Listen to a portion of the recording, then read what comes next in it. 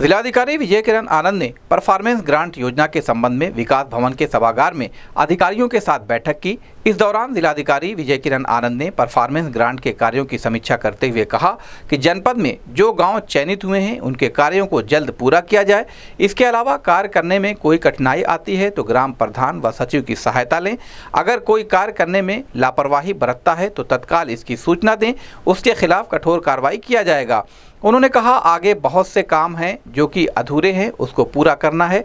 छह गाँव में जल्द ही निरीक्षण कर कार्यों का जायजा लिया जाएगा। इस अवसर पर सीडीओ इंद्रजीत सिंह, डीपीआरओ हिमांशु शेखर ठाकुर सहित अन्य लोग मौजूद रहे।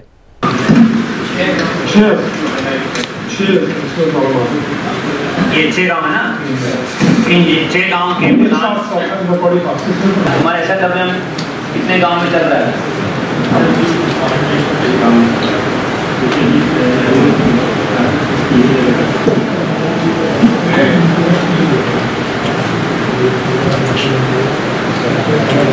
अभी तो हर हफ़्ते मीटिंग करनी पड़ेगी और नोडल ऑफिसर को काम देना पड़ेगा और ये तुम्हारा सॉलिड वेस्ट में क्या गाड़ियों का टेंडर नहीं हुआ?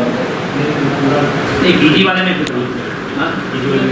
बीजी वाले में करना है ना ये? ये काम करने में क्या? ताला वाले ये काम तो हमें- हाँ, ये काम तो पहले हुआ चाहिए ना सीधे चला के दो महीने हाँ, अभी सेक्रेटरी की भी करना की है। मैन पावर डिप्लॉयमेंट ठीक है ना अभी? सेक्रेटरी है प्रधान है प्रधान जान उसमें दो की कवर पीडी आईज भी बढ़ते हैं वीडियोस का स्वामी गाँव में रिव्यू करने में आपको इतना परेशानी अभी तक ये सब मेरे सामने। मेरी अनुभव मुझे बहुत बड़ी इतना बड़े बड़े काम करने हैं। हम बैठ के मैं काम हुआ क्या टेंडर डॉक्यूमेंट साइन करना है? क्या? तुम लोगों ने तो तीन चार चीज़ें मैंने बताई थी। वो करना ये छह गाँव में मेरे मेरा ट्रांसफ़र बता दो हाँ?